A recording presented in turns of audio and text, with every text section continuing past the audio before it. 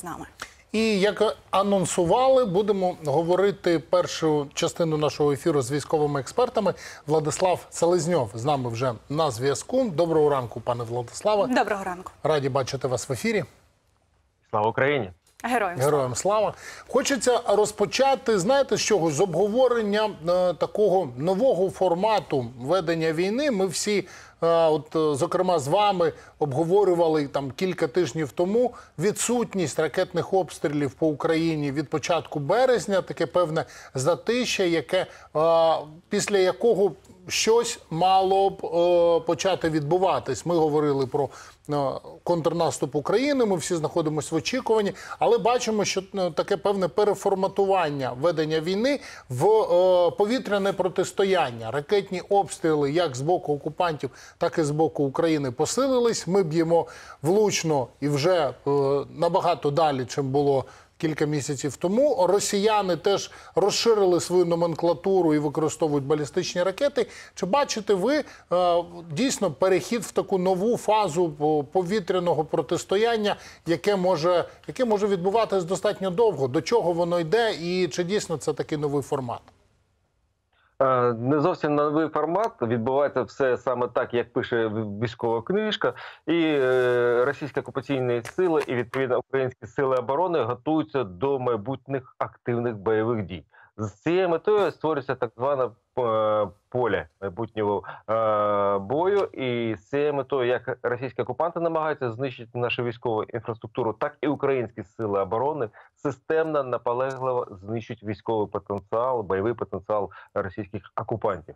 Для того ж і використовуються ті самі ракети різного радіусу дії. Е, Росіяни використовують активно каби, керовані авіаційні бомби для того, щоб максимально не нанести шкоду нашій військовій інфраструктурі, нашим військовим об'єктам. І тут я знову знову склоняю голову перед нашими апаратами систем протиповітряної оборони, бо насправді те, що вони творять. е, Це за межами можливого, бо нищити найефективніші, найпотужніші, найрозпіарені російські ракети типу кинжал. Це це насправді диво, і наші хлопці, наші оператори систем протиповітряної оборони ці це диво творять, бо вони профі. І очевидно, що таке така ситуація буде і далі продовжуватись аж до того моменту, або коли українська армія перейде в е, контур наступ, або коли російська окупаційна армія буде намагатися використати свою перевагу, а вона на деяких ділянках фронту зараз е, має перевагу і в особовому складу, і в бронетехніці, і в озброєнні, і той самий наступ російської армії може розпочатися. Не надто багато росіян тих ресурсів, тим не менш, ми маємо бути всі на поготові, і цю тактику, яку зараз росіяни е, використовують з метою нанесення комбінованих ракетно-бомбових ударів по території нашої країни, ми маємо враховувати і відповідним чином реагувати. Ну, поки ви говорили, якраз ми показували на відео уламки збитого кинжалу російського, про який казали самі росіяни, аналогів нет. І от чому ми заговорили про можливий новий етап війни. Повітряний, е, повітряний, повітряне протистояння, тому що і Росія підвищує ставки. Вона запускає кинжали, які раніше не запускала по території України. Наші іноземні партнери почали говорити про коаліцію винищувачів. Ну і саме тому ми от дійшли до висновку такого, що можливо це новий новий такий етап протистояння. Е, загалом, так, пане Владиславе. Звичайно, що росіяни готуються. Чому кінжали? Бо росіяни визначили, що вони знайшли ту саму ціль, яка для них є стратегічно важливою. Багато зараз дискусій точиться з приводу того, чи влучили чи не влучили е, росіяни минулої ночі по нашому комплексу протиповітряної оборони класу Петріот. Я довіряю офіційним джерелам інформації. Офіційні спікери кажуть, що не влучили, і це насправді дуже важлива історія, бо ем, ми не можемо дозволити себе таких е, величезних втрат. Ну ба більше я знов підкреслюю, що наші оператори протиповітряної оборони знають свою справу, діють комбіновано, діють системно і діють в такий спосіб, щоб не наражати на смертельну небезпеку тих самих операторів, які безпосередньо е, задіяні до експлуатації і використання цієї дуже важливої і дуже потужної техніки. Ну далі з нами на прямому зв'язку буде Юрій Ігнат. І якраз ми розпитаємо більше про долю Петріота, е, про яку цікавить весь світ. Вже і CNN пише про те, що можливо пошкоджений комплекс, але не знищений повністю. От про все це будемо говорити далі пізніше. Ну от е, головна подія останнього тижня це візит Володимира Зеленського, європейське турне. Іноземні змі його вже назвали великим європейським турне перед наступом. Е, Італія нас підсилює, заявляє про те, що передасть новітнє франко-італійське ППО САМТі. Е, Також е, нас підсилює і Франція, і Британія заявляє про нову підтримку. А як би ви оцінили цей візит з військової точки зору? Ви погоджуєтесь з тією тезою, що це може бути таким європейським турне перед наступом?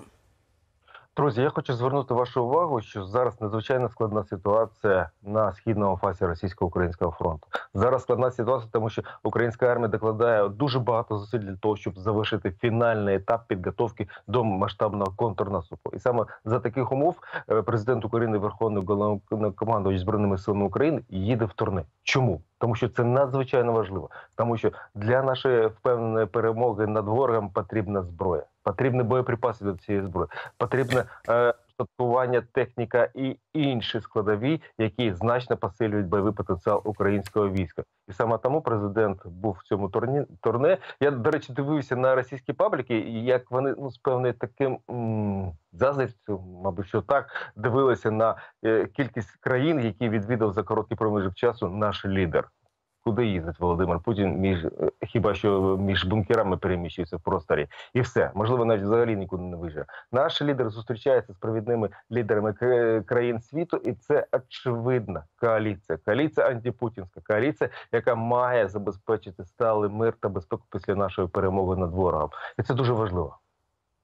Ну, якщо подивитись на оце турне і проаналізувати, то ми бачимо, що е, наші партнери вони е, диверсифікують постачання Україні зброю, і кожна країна, начебто, дає щось окремо. Але якщо подивитись на, на це в цілому, то ми бачимо велику кількість потрібного озброєння. От, наприклад, там Польща передала е, винищувачі Міг 29 Потім раз Британія передає ракети далекобійні, які, які можна запускати з цих літаків. Е, Приїжджає Володимир Зеленський в Німеччину. Німеччина передає додатково 30 леопардів, е, сотні броньованих машин. Їдемо у Францію. Франція оголошує про передачу додаткового озброєння і амуніції для кількох бригад, і навіть е, передає додаткові танки АМХ-10 колісні. Це е, реалізація. Цієї е, великої кампанії підтримки України, чи це е, просто рішення кожного уряду, кожної України окремо? Чи це є дійсно це е, консорціум країн в підтримці України в цій війні?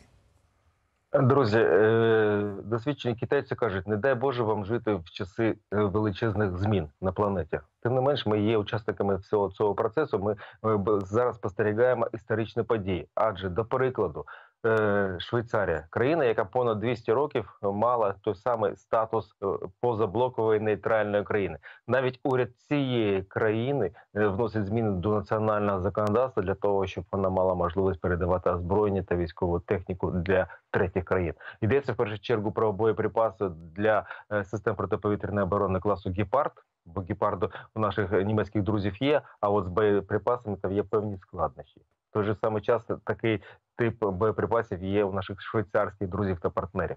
Справа в тому, що відбувається і реалізовується той самий проєкт Рамштайн 50 коли е, колективно, колегіально, синхронізовано діють усі учасники того проєкту для того, щоб максимально посилити бойовий потенціал українського війська. Заради чого? Заради того, щоб Україна перемогла в цьому двобої з Російською Федерацією.